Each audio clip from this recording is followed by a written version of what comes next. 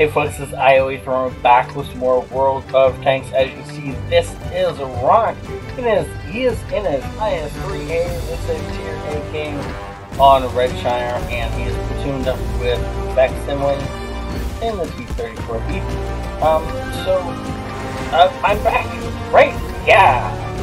Um, this is more experimental than anything else, because this is the new rig. It's beautiful for render.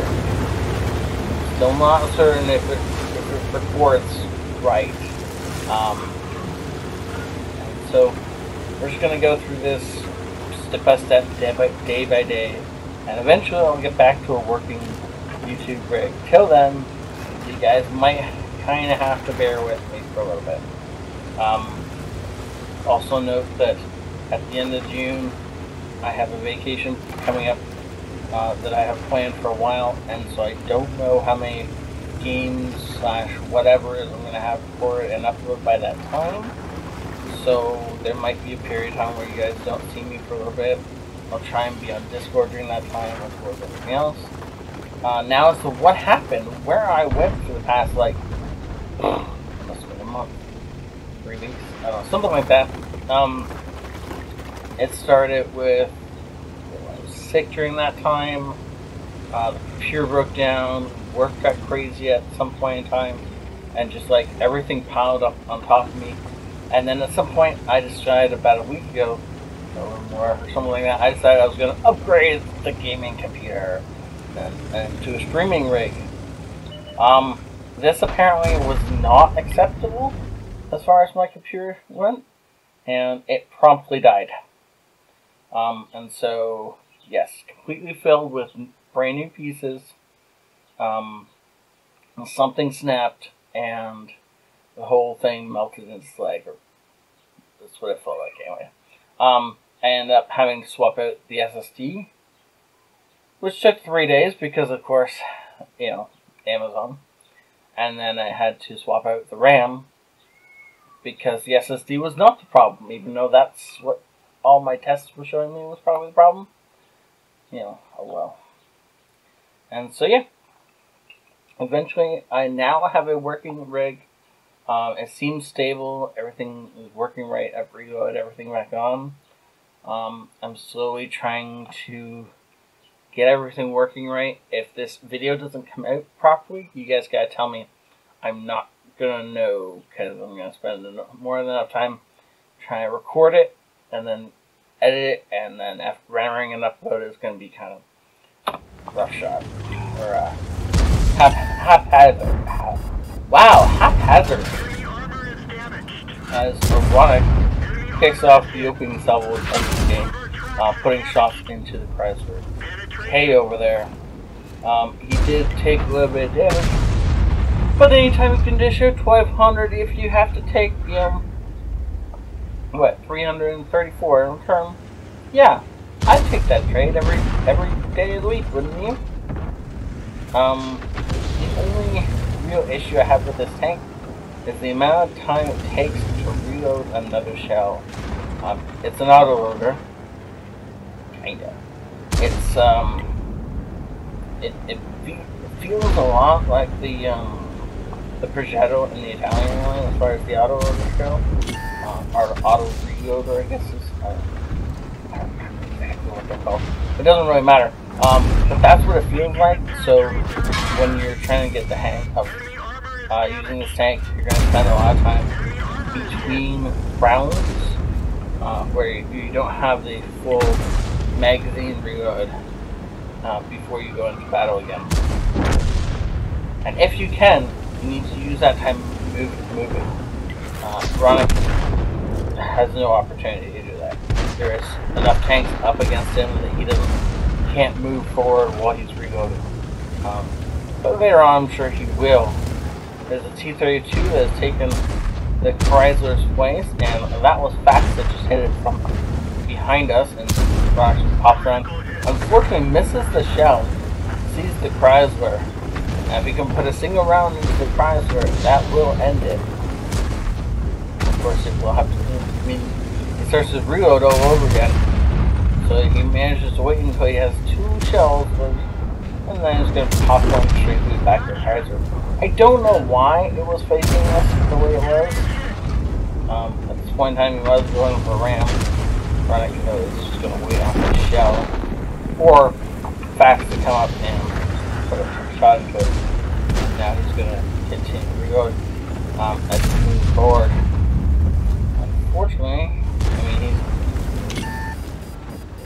This is where the, the downside to this tank comes in.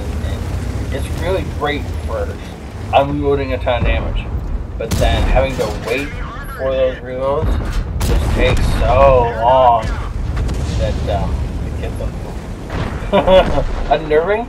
Uh, yeah.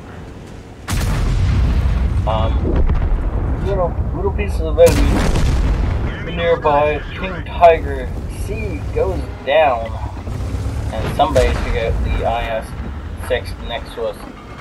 So now we're just looking at sniping these guys from across the valley. Actually taking his tracks out. Not getting any spy damage though, so so he must have repaired them just before he got hit. T-34-1 is running on the wrong side of the ridge. Press to shoot him, and as Ronnok is moving, he's of course reloading. And hopefully he has three shells by the time to engage again though, with the how long it takes to reload these shells, maybe not. Um, T-34-1 is way over there. 10 seconds left for reload. Looks like no, Ronnok's gonna fire a little bit early. Four shells, four seconds left, but of course it restarts the reload.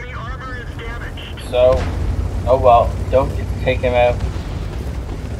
T71 comes in from the backside, takes out our uh, TS5, but then Max finishes off the job and just, you know, secures the kill.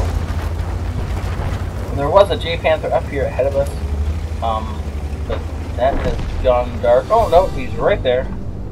Um, and uh, just not shooting for the gun mantle. Meanwhile, the J Panther managed to shoot for the porch and took out the poor little I don't know what it was exactly that he took out, but something made a wood between us and him, and it didn't, meant that shell didn't connect. We're to speed this up a little bit because at this point in time he's just hunting for artillery, as well as the Black, Black Prince, but the Black Prince is way across the map, so uh, he's really not going to find that. He is unfortunately out of standard shells.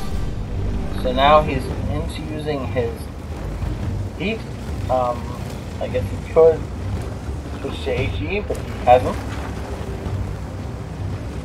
And uh, he's just going to press his rise and sit here and wait. And of course, our IS is going to go in there, the IS is going to light stuff, and we're going to be able to shoot it. Or at least that's how it's up. Oh, yep. Look at that. There we go. Um, now, the M12 is going to get lit, um, but it's going to get lit back here, and back is actually going to be the one to take that. We're just going to speed this up a little bit in order to make that happen a little more quickly. So we can get back to the, uh, the lobby and you guys get to see what his battle results are. Yeah. I'll see you guys in a second.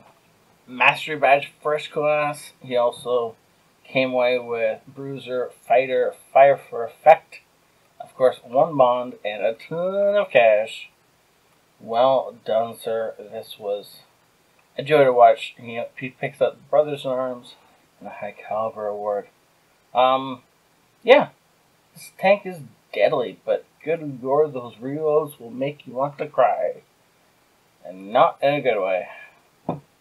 5,485 damage. Um, just barely over, well, I guess it's about, it's over a grand over the TS5s. Those two, though, carried us with it. Those two in this game. This game probably would have gone in a different direction entirely. Um, but, oh well, that's just how it worked out. Chrysler GF. Top tier in the game. Go. Top tier in the game. T32, top tier in the game.